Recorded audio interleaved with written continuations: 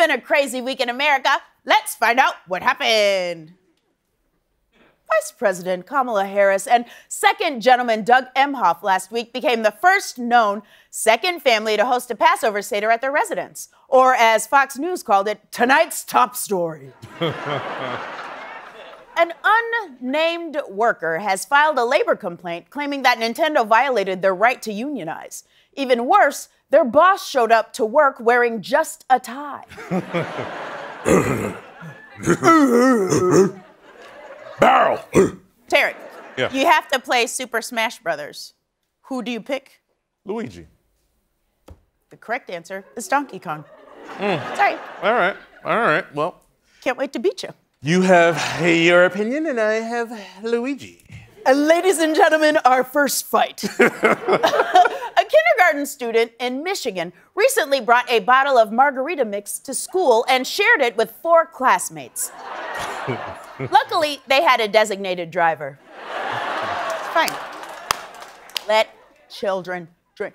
An online, an online pharmacy recently used Google data from 86 countries to publish a list of the nations with the largest penis size, which is why you should always read those pop ups before saying yes.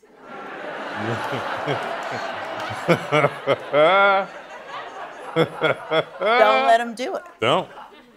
A Massachusetts woman with a learner's permit practiced her driving last weekend in a cemetery and crashed into eight graves. The victims were pronounced dead on arrival. Yes. Yeah. Yeah, that was great. Yeah.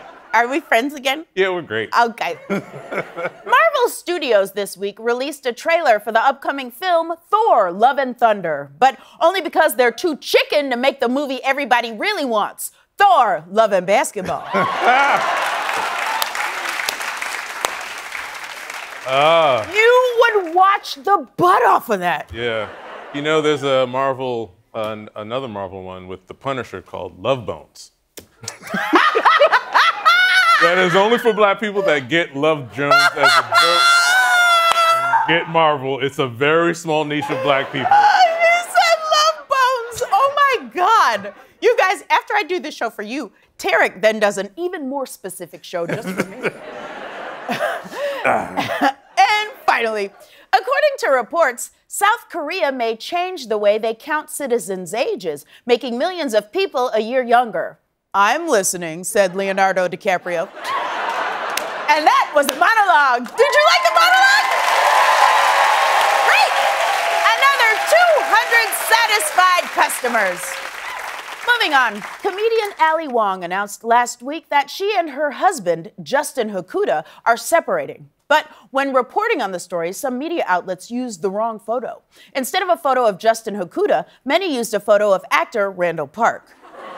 Yes, they did. And we here at the Amber Ruffin Show are tired of seeing this kind of mix up. It happens to minorities too often and is brushed aside as a little mistake. Well, we would never make a mistake like that, so we are asking all media outlets to take more care when reporting on minorities. How would you feel if we accidentally mixed up white people? Do better. Okay. In other news, a new book has been released that reveals that Mitch McConnell chose to remain quiet during Donald Trump's stolen election claims because he was scared. Mitch McConnell feared that if he spoke out against the attempted steal, Donald Trump would interfere in the election campaigns of Republicans David Perdue and Kelly Loeffler. Now, all of this caused Trump supporters to feel like they had the right to storm the Capitol. When asked if he's finally going to stand up to Trump for the good of the country, Mitch McConnell had this to say. I'll just have to pay a visit to that blubber headed hound and gently break him in two with my good right arm. Typical. Well, if McConnell doesn't want to defend democracy, maybe it's time he quits and goes back to his old job, hosting ASMR videos.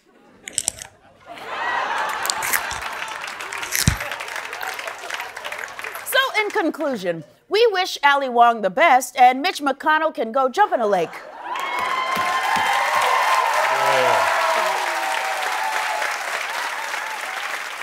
In, in more serious news, three mass shootings took place in America this past weekend, and They came just one week after the shooting in Brooklyn. Now, every time something like this happens, Americans ask the same question Will Congress finally introduce a meaningful gun control bill?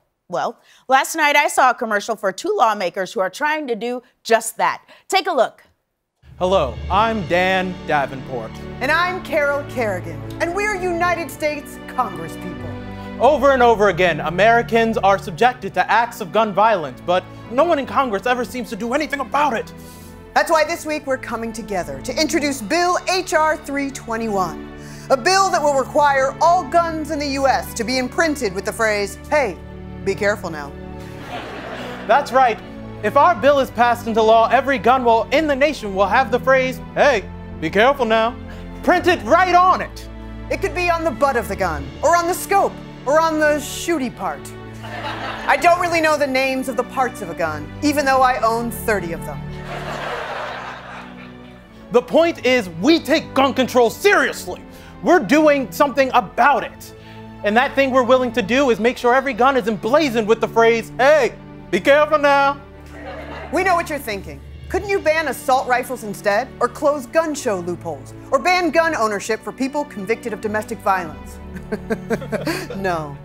But what we can do is put the phrase, hey, be careful now, on every gun. And we can do it in all caps so people take us seriously.